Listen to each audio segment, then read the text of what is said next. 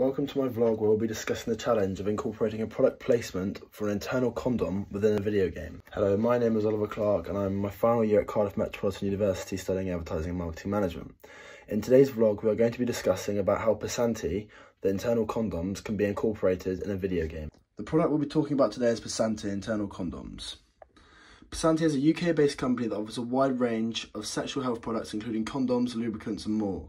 Their internal condoms are a popular option for women who want to take control of their own sexual health. So, the target audience for this video game Sims. Uh, we can assume the game's audience is likely to be young adults who are interested in gaming and tech. This demographic is also likely to be sexually active, uh, making Pasante internal condoms a relevant product to advertise within this game.